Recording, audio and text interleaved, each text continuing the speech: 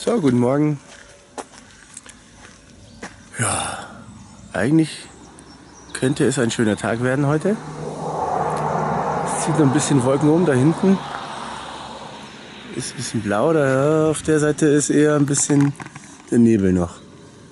Jetzt denken wir einfach mal, dass das verzieht.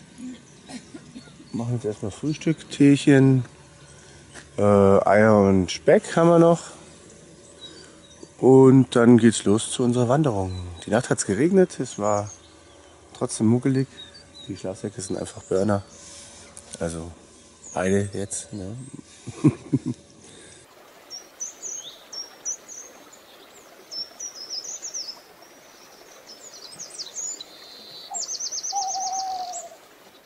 ja, da hinten haben wir unser Auto geparkt.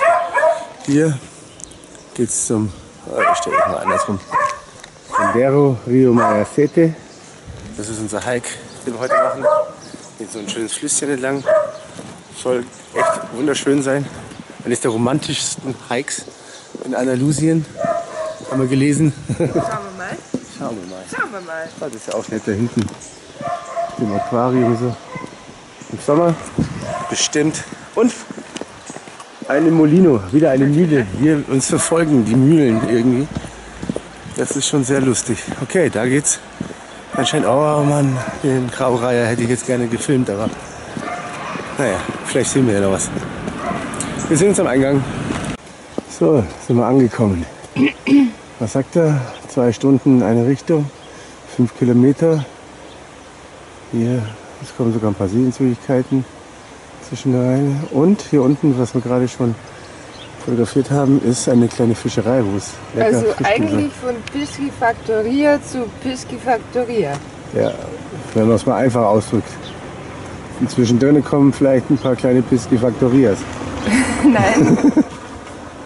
Na gut, hier geht's runter. Dann seid ihr bei den ersten Metern dabei.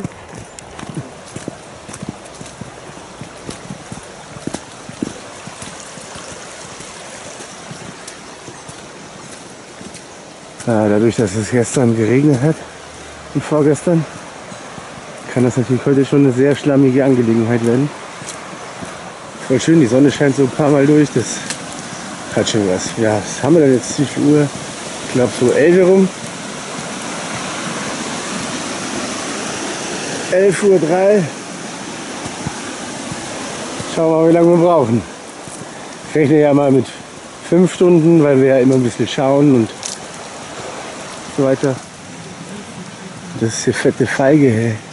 Fette Feige. Und dann nochmal eine fette Feige.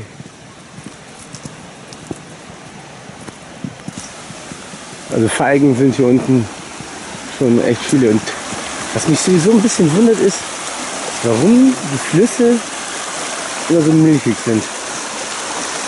Ich meine, fünf Kilometer weiter ist die Quelle. помощь. Да,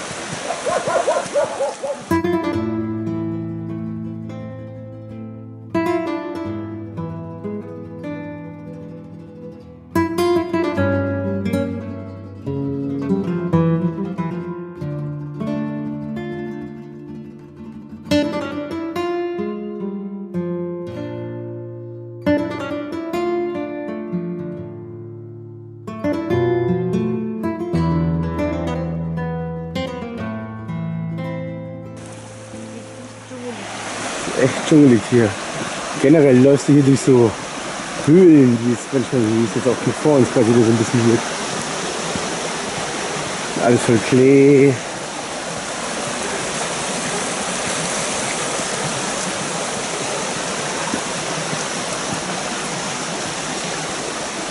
Ja, gefällt mir voll gut bis jetzt.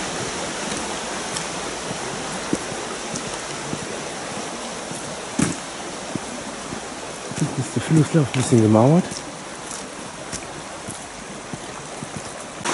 Da zeige ich noch, dass ich mir kaum vorstellen kann, dass hier irgendwie Fische gezüchtet werden können, weil das klasse Wasser so milchig ist. Und hier Regenbogenforelle und die Goldforelle. Ja, bis zu 60 cm groß und 8 Kilogramm schwer werden die. Das sind Oschis. Und das hier drinne. Ich bin begeistert.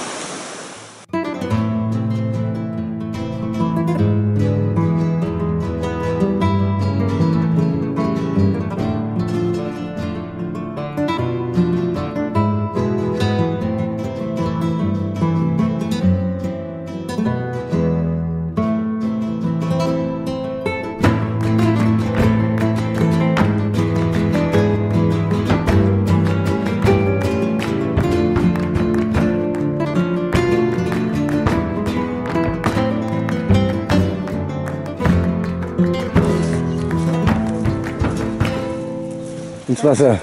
Ja.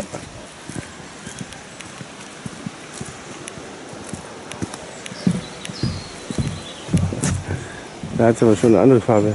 Aber ist jetzt gar nicht. Ein Zufluss. Und da war bloß ein Zufluss.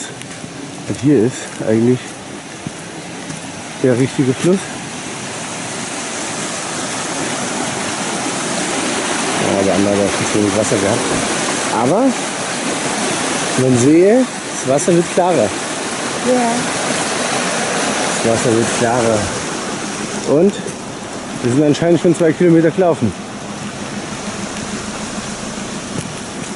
Gut, auf geht's für die nächsten drei.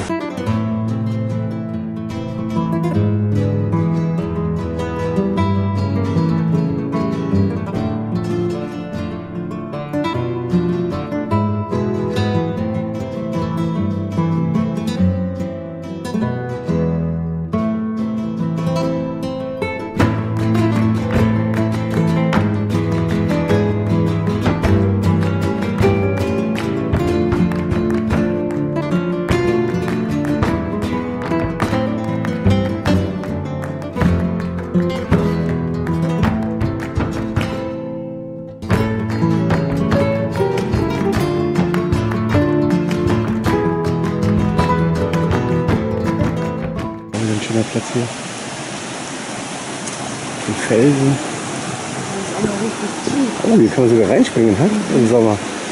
Also hier hätte ich ja Bock drauf. Ich auch. So schön klar. Da hinten.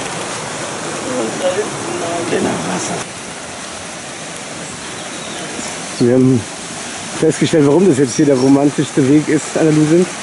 Weil es hier immer so kleine, schöne Bumsbuchten gibt. Mit Aussicht und allem drum und dran, Wassergeplätscher, abgeschottet von außen. 1A.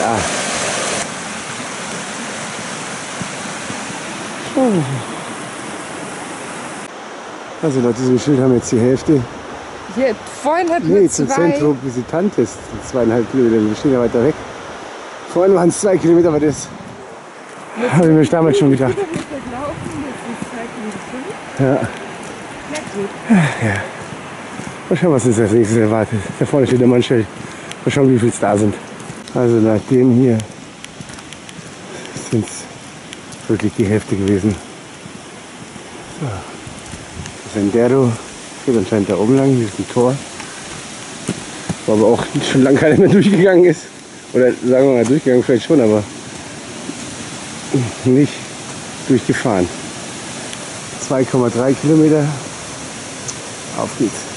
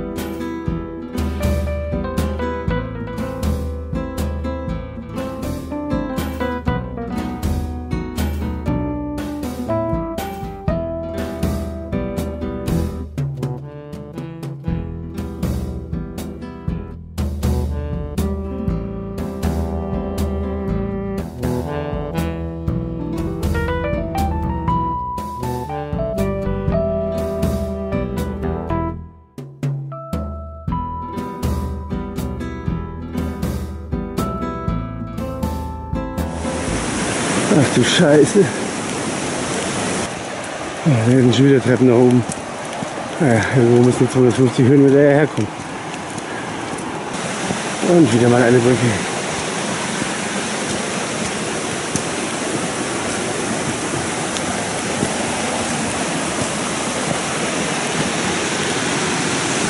Also Fische haben wir bis jetzt noch keinen einzigen gesehen. Aber nein. Wow. Ja, das Wasser wird immer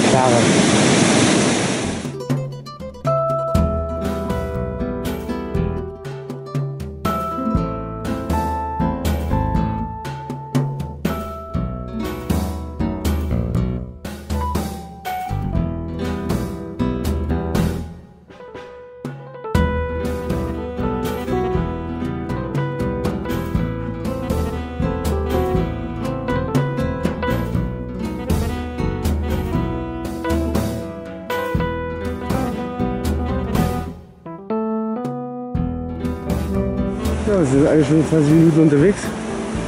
Es geht wieder bergauf.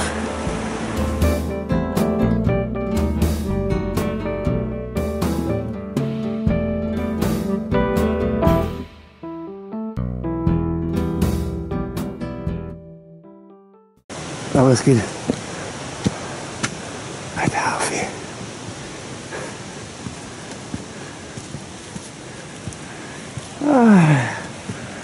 Damit es dann gleich wieder hinten runtergehen kann.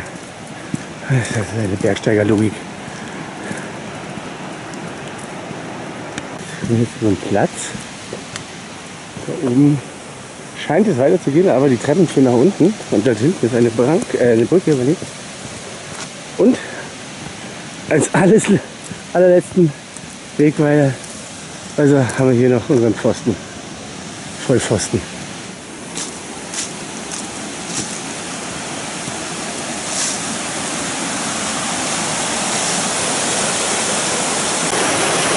Also hier geht es nirgendwo mehr lang, würde ich sagen. Also das wieder zurück. Und doch da hinten lang. Naja, so kann man sich irren.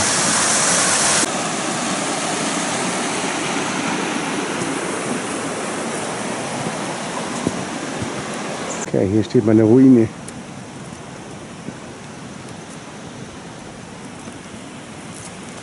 Von was auch immer.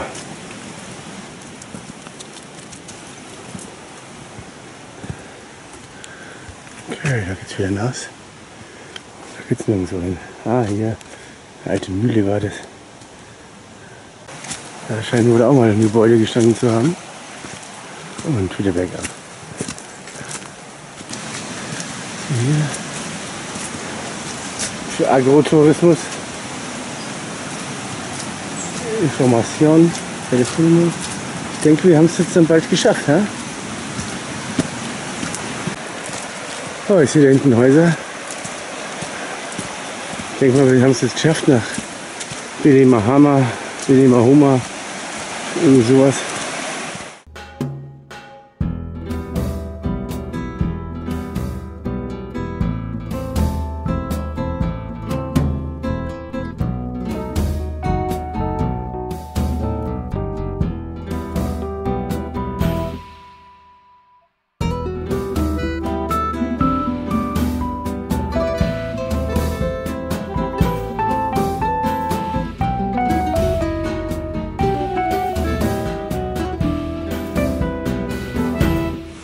Naja, trotz dass wir so, nah am Ort sind, ist hier immer noch richtig schön verwunschen.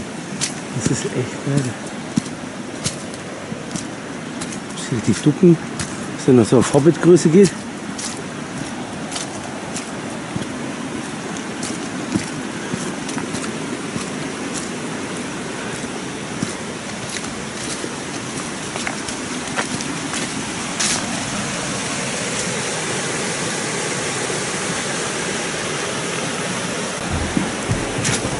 Hier hört der Weg auf.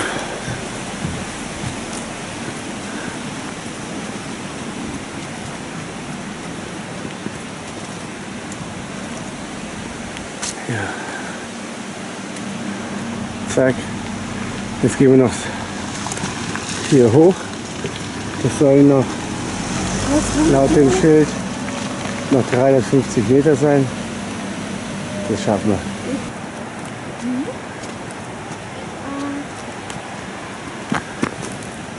Ja, ach, hey.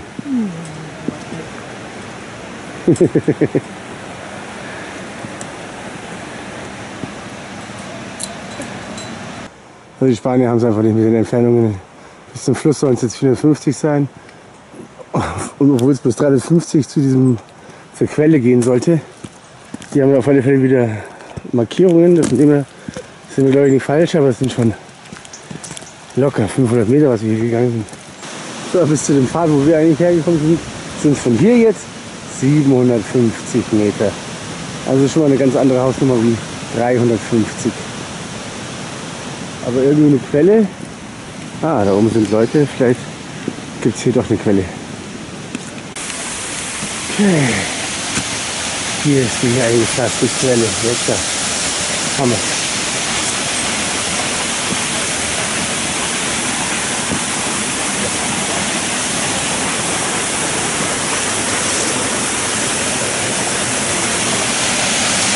Hier ist es auch.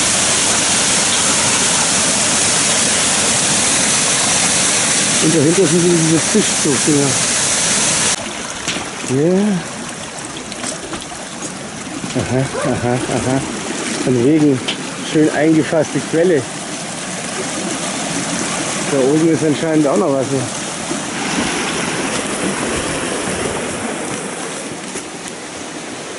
Ach du Scheiße. Aber krass, wie hier überall im Strömen das Wasser runterläuft.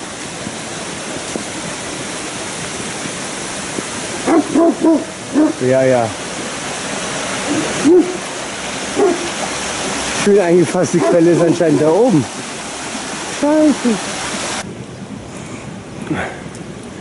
Das muss jetzt sein hier.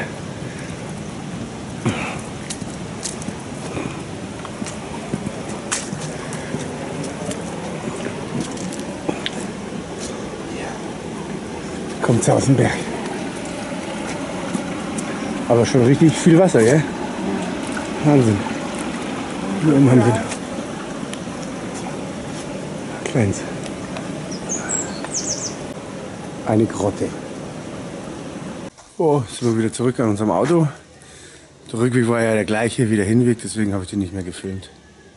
Und ja, ich hänge da gerade T-Shirt und so weiter, ist ganz schön nass. Muss alles mal ein bisschen trocknen. Wir gönnen uns jetzt hier noch einen Cruisinger zur Feier des Tages, weil wir es geschafft haben. Und dann geht's auf nach El Chorro, El Mirador. Hier nochmal kurz zurück von der kleinen Busbar, wo hier auch mal ein Bierchen steht. Ein bisschen Fingerfood. Ähm, wir haben jetzt 15.07 Uhr. Das heißt, wir haben vier Stunden gebraucht, jetzt eigentlich hin und zurück. Plus die Quelle, die ist ja eigentlich nicht im Weg mit drin gerechnet. Ähm, ja, ging. War schon ein bisschen anstrengend, aber war okay. Ja, jetzt wollte ich eigentlich nur schnell die Ba- Bierbar zeigen hier, die Busbar. Mit der netten Bardame hier drin, die mal rauswinkt. Ja, jetzt sieht man sie auch.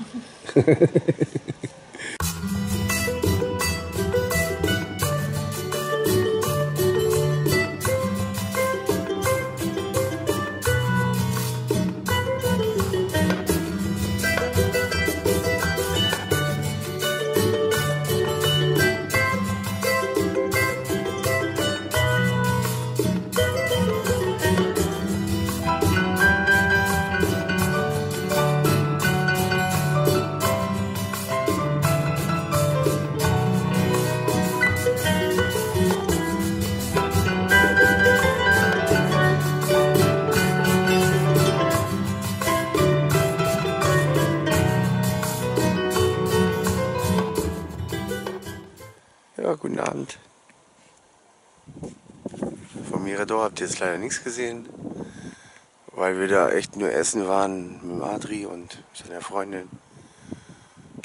Und jetzt haben wir uns ein nettes Plätzchen hier am See. Da wollte ich schon immer mal schlafen.